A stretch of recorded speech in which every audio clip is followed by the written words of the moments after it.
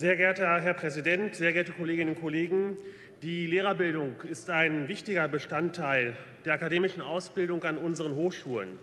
In einer inklusiven Gesellschaft haben Lehrerinnen und Lehrer eine besondere Schlüsselfunktion, die durch eine zukunftsweisende Aus- und Weiterbildung gewährleistet werden muss. Investitionen in die Lehrerbildung sind nachhaltige Investitionen in die Zukunft unserer Gesellschaft und in die Zukunft unserer Kinder, meine Damen und Herren. Im Einzelplan 06 des Landeshaushalts werden deshalb für das Jahr 2016 mehr Zuschüsse für Investitionen in die Lehrerbildung an den Hochschulen getätigt, insgesamt 22 Millionen, was einer Erhöhung um 3,4 Millionen Euro entspricht. Hier soll vor allem der Ausbau von Fachdidaktikprofessuren und Lehrerausbildungszentren vorangebracht werden. Zur Umsetzung der Inklusion an unseren Schulen baut die Landesregierung auch die Studienplätze für die Förderpädagogik aus. Hier sind in der Endstufe 2.300 zusätzliche Plätze vorgesehen. Im Haushalt wird der Etat dabei von 9,2 Millionen auf 13,8 Millionen erhöht.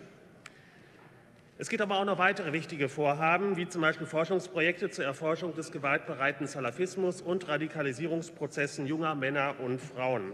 Hierzu gibt es 400.000 Euro zusätzlich im Haushalt, was damit eine Grundlagenforschung zur Erforschung äh, des äh, radikalen Salafismus ermöglicht, was Präventions- und Deradikalisierungsmaßnahmen auch voranbringt. Eine weitere wichtige Veränderung ist der Etat zur Förderung der Johannes Rau Forschungsgemeinschaft, der derzeit 15 Forschungsinstitute aus NRW angehören. Hier wird es auch zusätzliche 400.000 Euro zum bisherigen Ansatz geben.